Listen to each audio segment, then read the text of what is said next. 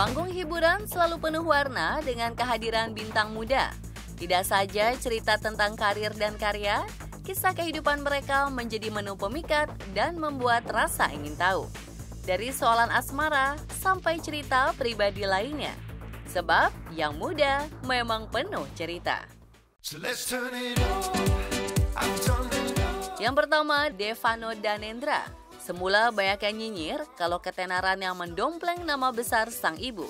Murid kelas 2 SMA ini membuktikan dengan kemampuan dan bakat. Pada akhirnya, anak muda kelahiran 23 September 2002 mendapatkan juga apa yang diimpikan.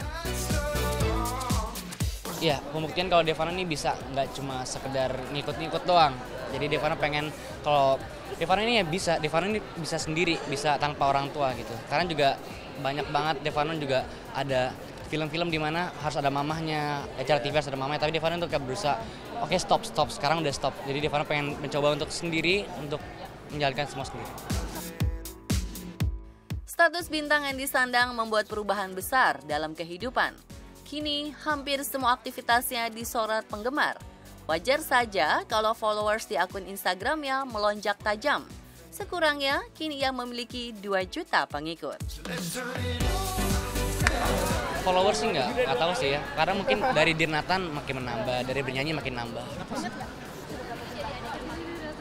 Atau Dirnatan, atau sebelum ini, sebelum sebelum Devano ini sih seribu mungkin karena mungkin mama juga kan nyanyi jadi mama kan sering kita aktivitas ke mana-mana ini dan kebantu juga. Dalam usia sebelia ini, rasa-rasanya Devan hampir mendapatkan semua yang diimpikan remaja sebaya. Namun rupanya tidak. Salah satu yang belum dimiliki adalah kekasih. Devana belum belum pernah pacaran. Iya, jomblo kalau uh, Devano ini gimana? Bukan berarti Devano belum pernah pacaran tapi nggak pernah deket sama perempuan gitu loh. Jadi Devano banyak banget sahabatan sama orang, banyak perbanyak teman lah. Memang orang-orang tuh bilang bilang ke Devano kalau udah pacaran lah, sayang masih SMA kan nggak pacaran gitu kan. Tapi Devano di sini berusaha untuk kayak sabar. Kayak Devano tuh harus fokus ke, ke sekolah karena sekolah di sini juga Devano masih berantakan kayak mesti belasin karir sama sekolah tuh kan susah banget. Jadi apalagi kayak punya pacar yang repot posesif nanti kan bahaya juga. Entah apa yang membuatnya kesulitan menggait hati perempuan padahal semua syarat dimiliki kalau aku sih gimana ya aku nih orangnya santai banget uh, jadi kalau misalkan nggak punya pacar pun aku tetap ya oke okay lah yang penting aku bahagia aku seneng. Tapi mama juga bingung kenapa aku nggak pernah pacaran karena juga di usia aku nih yang udah kayak udah udah masuk SMA udah kelas 2 SMA kok nih anak nggak pacar pacaran aku juga aku aku sempat cerita juga sama mama kalau aku tuh udah uh, ada kesusahan dalam apa ya, dalam berbicara sama sama cewek sama lawan jenis Devan mengaku tidak mematok kriteria khusus bagi calon pacar. Hanya dua saja syaratnya, saling mencintai dan sama-sama nyaman, serta mendapatkan restu dari kedua orang tua. Kalau kriteria khusus sih, um, aku nggak ada sih, tapi lebih lebih apa ya lebih aku lebih suka kalau dia juga suka sama aku lebih santai sama aku apa adanya sama aku gitu kemarin mama bilang nih katanya kalau bisa harus yang lebih cantik dari mama itu gimana tuh Devan iya mama juga sering ngomong kayak gitu sih tapi aku ya orangnya gitu ya santai. Jadi tapi uh, uh, sebelum sebelum itu aku juga sering uh, kenalin mama kenalin mama teman aku atau waktu itu teman-teman aku lah sahabat-sahabat aku deketin. Aku sih yang pasti kalau misalkan pacaran pun aku nggak suka yang namanya di expose segala macam karena menurut aku pacaran tuh bukan konsumsi publik. Jadi menurut aku ya kalau aku pacaran ya udah pacaran tapi maksudnya nggak di selalu di expose gitu loh Bintang muda kedua adalah Giorgino Abraham. 30 November lalu, Gio baru saja merayakan ulang tahun yang ke-24. Sayangnya, menuju usia baru, pemain sinetron ini mendapat kado sedih Terbetik kabar jika hubungan asmara yang sudah dua tahun dijalani bersama Irish Bella kandas. Gio sendiri tak mau berterus terang. Ia hanya melempar sinyal dan meminta tak terlalu mengungkit kisah percintaannya. Masalah kabarnya bener apa enggak yaitu udah dicoba tanya belum ke yang ke sana itu. Menurut aku ini kehidupan pribadi aku gitu tentang percintaan aku, persahabatan aku, keluarga aku itu ada pagernya di mana cukup kita aja yang yang yang bisa mengkonsumsi nggak semua publik harus tahu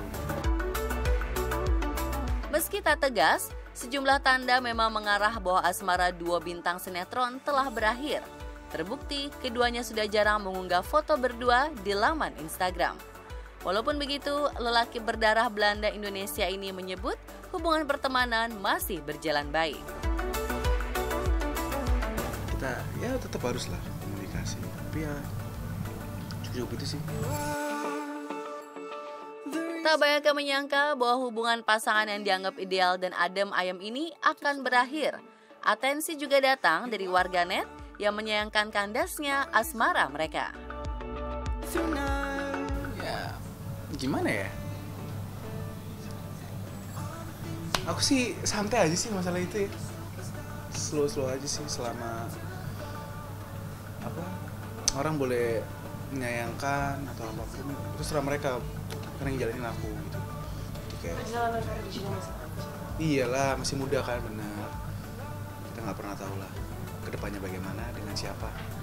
Yang tahu kan cuma aku dan dia gitu. Apa yang terjadi sebenarnya? Mau orang bilang salahnya si A salah si B? Nah, itu yang tahu kan aku dan orang itu sendiri. Jadi kayak ya udah kayak orang mau ngomong apa ya lu nggak tahu apa-apa orang yang tahu kita berdua gitu. Cerita ketiga datang dari Maxime Botier. Berbeda dengan Devano dan Abraham Giorgino, Max justru tengah sumringah karena hubungan asmaranya dengan Prilly Latukonsina semakin membara. Max bersyukur memiliki kekasih yang sangat perhatian dan pengertian. Meski sama-sama sibuk, keduanya tak pernah mempermasalahkan. ya untungnya kan kita berdua memang kerja sama, kerja yang di tempat yang sama gitu jadi kita memang pengertian dengan schedule masing-masing gitu jadi kalau memang udah ada waktunya kita bisa ketemu ya ketemu gitu. Jadi eh, sespontan mungkin benar-benar sespontan mungkin. Kalau misalnya kayak sekarang aku udah kelar cepet nih eh kamu di mana? Kamu lagi break nggak? Ayo aku ke situ. Kalau nggak break ya udah aku pulang. Sesimpel itu. Salah satu bukti panasnya asmara mereka tampak dari sejumlah unggahan. Max dan Prilly acap memperlihatkan foto mesra berdua. Tak jarang mendapat respon dan komentar warganet.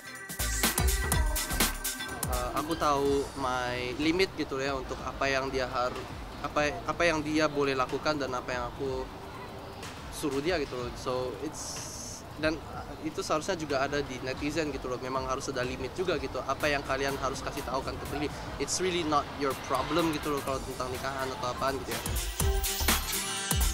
Memasuki tahun 2019, jalinan cinta mereka akan memasuki tahun kedua. Meski sudah saling mengenal, Max dan Prilly belum sedikit pun berpikir tentang pernikahan. Bukan karena tidak serius, tetapi saat ini mereka tengah fokus kepada karir, lagi pula usia juga masih muda. kita nggak mikirin baru setahun ya so masih jauh masih jauh hal-hal seperti itu